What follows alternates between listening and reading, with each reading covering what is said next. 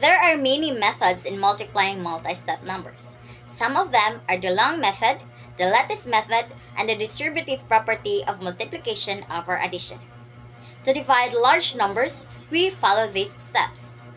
Divide, multiply, subtract, bring down, and repeat or remainder. To solve an equation involving order of operations, remember the mnemonics. GEMDAS, which stands for grouping symbols, exponent, multiplication or division, and addition or subtraction. Exponential notation is the shortest way of writing repeated multiplication. The base is the number that is being multiplied repeatedly. Exponent tell us to multiply the number by itself certain number of times. A prime number is a whole number greater than 1 which has only two factors, 1 and the number itself. A composite number is a whole number with three or more factors. A prime factorization is a process of expressing a composite number as a product of its prime factors. A number, every number is divisible by 1. So a number is divisible by 2 if it is even. A number is divisible by 3 if the sum of its digits is a multiple of 3. A number is divisible by 4 if its last two digits are divisible by 4. A number is divisible by 5 if its last digit is either 0 or 5. A number is divisible by 6 if it is divisible by both 2 and 3. A number is divisible by 7 if the difference between twice the unit's digit and the remaining digit is divisible by 7.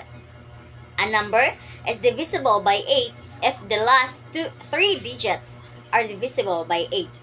A number is divisible by 9 if the sum of its digit is divisible by 9. A number is divisible by 10 if the unit digits is 0. Factors are numbers being multiplied to get the product. Greatest common factor or GCF is the biggest number that can exactly divide the given numbers. The methods of finding the GCF of two or more numbers are listing, prime factorization, continuous division, and Euclidean algorithm.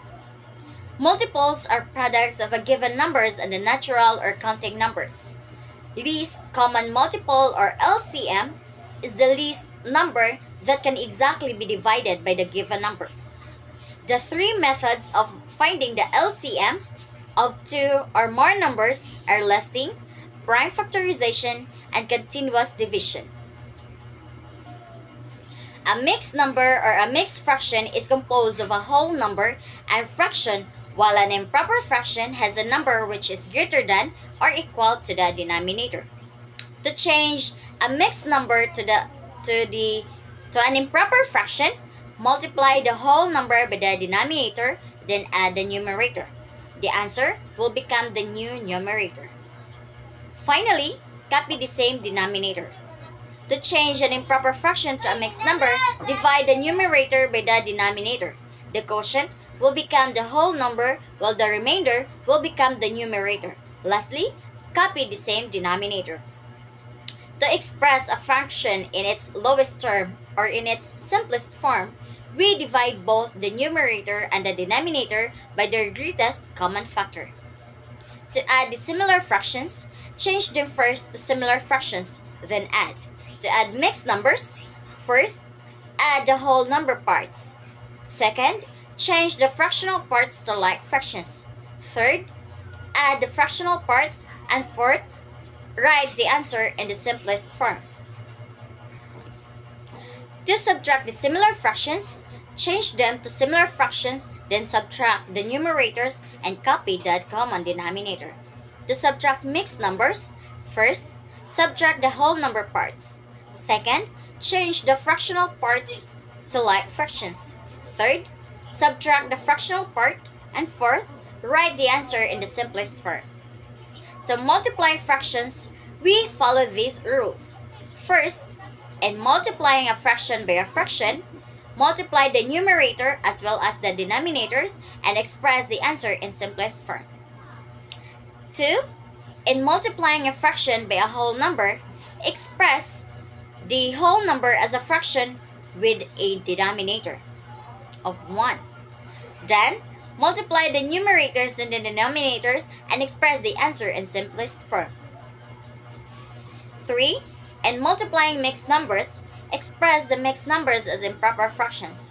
Then, multiply the numerators and the denominators and express the answer in simplest form. To divide fractions, we follow these steps. First, get the reciprocal of the divisor. Second, change the division sign to multiplication sign. Third, multiply the numerators. Four, multiply the denominators. And fifth, express the answer in its simplified, form if needed.